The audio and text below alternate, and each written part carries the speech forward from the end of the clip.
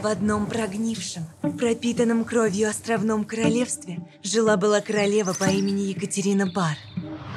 Она была шестой женой мстительного короля Генриха VIII.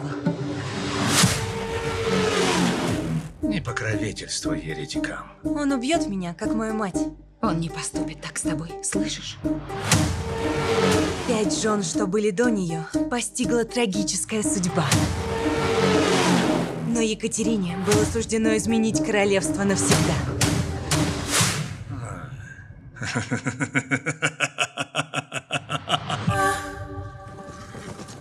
Мы должны восстать и взять то, что наше. Мы нашли Энн, она проповедовала толпе. Не тем, кто над нами, указывать нам, во что нам верить. То, как она говорила, восхитило меня. Кэтрин, я молюсь, чтобы никто не видел вас там в тот день. Я верю, что я избрана Богом, чтобы влиять на волю короля.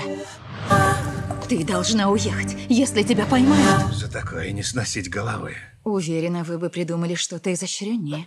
Иногда вы будто знаете меня лучше, чем я сам.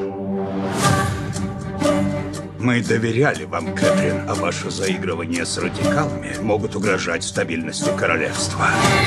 Ты ведь не желаешь мне вреда? Нет. Не желаешь смерти? Нет, никогда. Его уверенность в твоей слабости, вот что тебя спасает. И что же мне делать? Снести ему голову с плеч. Он требует доказательств против нее, что она предала его. Кэтрин! Ты лжешь Конечно, мне? не Ты лгу. лгунья! Ваша- Ты лгунья!